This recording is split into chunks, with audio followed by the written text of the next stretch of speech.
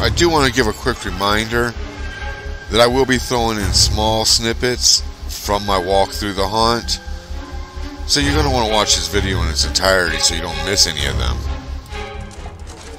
As we approach this entrance over here, I want you to go ahead and pay attention to the door where we enter at.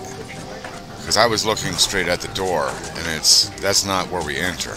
But uh, you'll see why I kept it off camera. This is really, really cool right here. I thought the door was where you go in over here. But uh, check this out.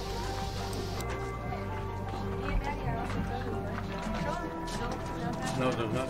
Oh, okay. Oh shit.